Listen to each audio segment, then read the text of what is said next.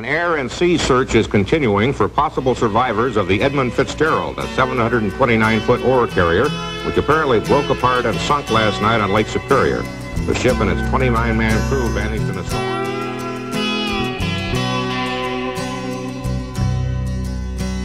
The legend lives on from the Chippewa on down of the big lake they call Gitche Gumee.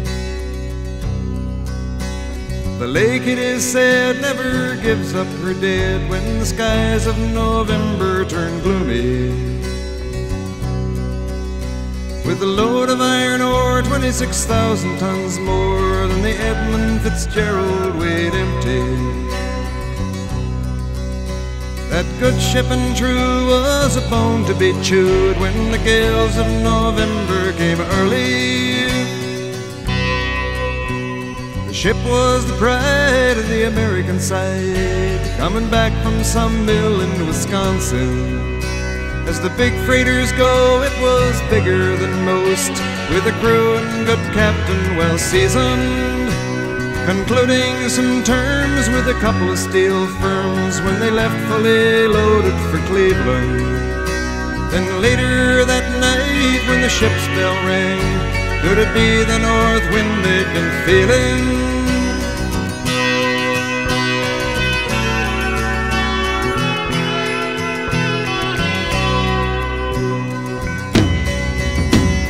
The wind in the wires made a tattletale sound, and the wave broke over the railing. And every man knew, as the captain did too, 'twas the witch of November come stealing. The dawn came late and the breakfast had to wait when the gales of November came slashing. When afternoon in the face of a hurricane west wind.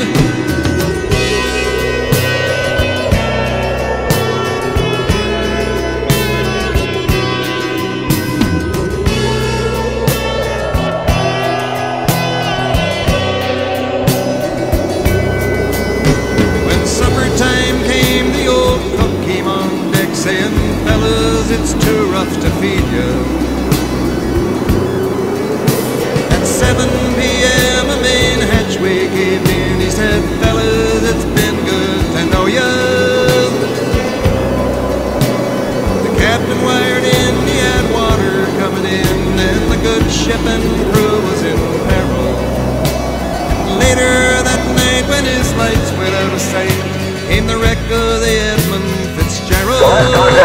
He, uh, at 10 minutes after 7, the motor was 10 miles ahead and gave him a position because his radar was out.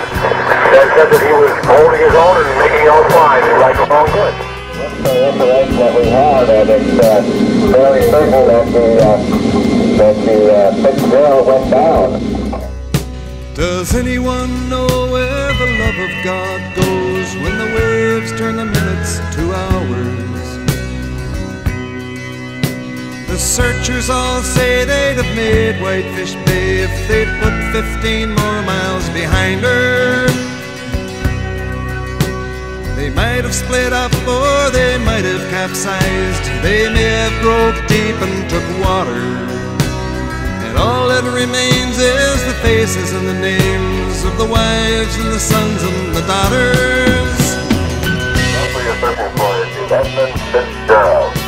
Stand by one. Let me get the uh, Arthur Anderson on this frequency. He is the vessel that reported uh, seeing the Fitzgerald disappear from his radar screen, and he was the last Lake one. Huron rolls Superior sings in the rooms of her ice water mansion. Old Michigan steams like a young man's dreams. The islands and bays are for sportsmen.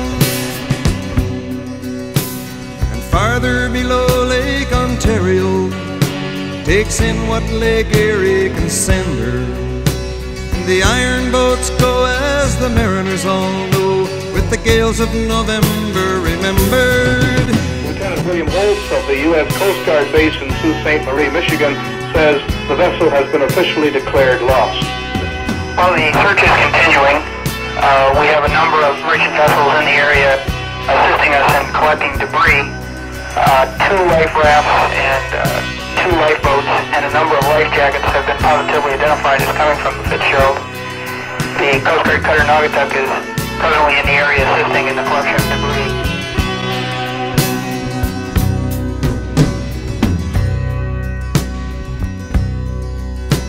In a musty old hall in Detroit, they prayed in the Maritime Sailors Cathedral. Church bell chimed till it rang 29 times for each man on the Edmund Fitzgerald. The legend lives on from the Chippewa down of the big lake they call Gitche Gumee. Superior, they said, never gives up her dead when the gales of November come early